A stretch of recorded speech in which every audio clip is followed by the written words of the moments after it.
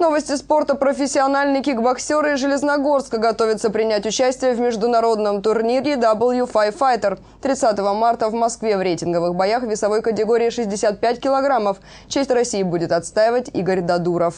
Его противником станет боец из Молдавии.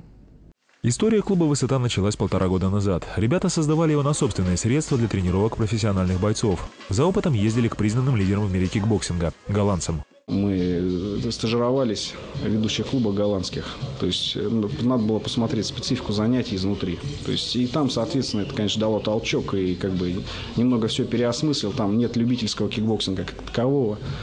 Только есть профессиональный кикбоксинг, разные уровни подготовки. W5 Fighter – международный турнир, в котором участвуют бойцы из Украины, Белоруссии, Молдавии, Киргизии, Кипра. В 2012 году в рамках серии из 10 турниров пройдет порядка 120 боев. Для Игоря Дадурова это будет дебют на профессиональной арене. Настроился только на победу тренируюсь и все сделаю для того, чтобы победить. В ближайшее время на базе спортклуба откроют местное представительство Курской Федерации тайского бокса. С визитом и учебным семинаром коллег посетил президент Федерации Михаил Михайлов. С прошлого года мы познакомились с Виктором Селезневым, с его клубом, вот, с его бойцами, то есть, которые себя зарекомендовали хорошо на турнирах по тайскому боксу.